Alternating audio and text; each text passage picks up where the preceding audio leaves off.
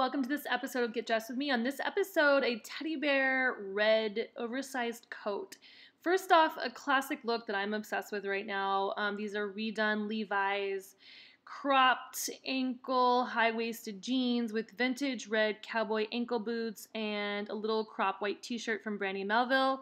And this is a shearling that I got last, or it's a faux shearling, so it's a teddy bear faux. I think it's polyester wool cotton blend um, that I got last year from the Frankie shop, and I will now be selling in my consignment shop.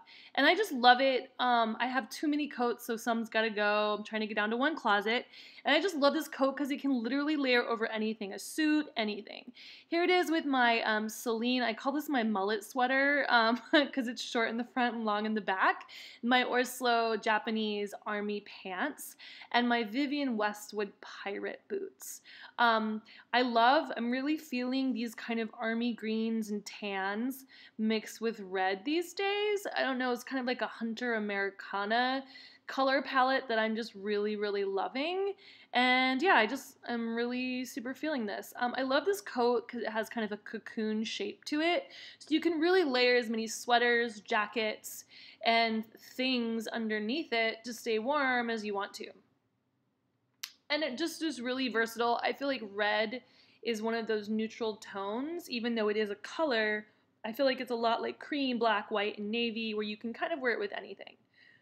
Now here it is with an elder statesman pashmina cashmere shirt dress.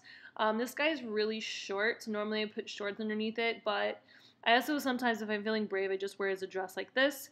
And then these are over the knee leather stretch Celine flat boots that I found on the Real Real that I was after. And I just love this as kind of a, a layered moment and good for spring, sorry, spring and fall when you're kind of in that in between weather. Love this coat. Also, my sunglasses on this episode are from Fendi. Um, and then my lingerie on this episode is from Rihanna's Fenty brand, Savage Fenty brand. Um, this is a little silk shirt that I recently purchased from Everlane, um, kind of feeling the Frenchy silk button down vibes. And then these are some classic Phoebe Philo Celine tux trousers I've had for a long time that I don't I don't know, i have been holding on to because I love them and I wear them so much. And then this is a velvet tie D'Orsay Manolo Blahnik um, in black from Saks Fifth Avenue. Again, with this great red oversized teddy bear coat. Teddy bear coats have kind of been a thing since last year. I'm still loving them just because I like the texture and because it's, you know, animal friendly in the sense that it doesn't actually use uh, any like fur. It's just the kind of illusion and warmth of fur.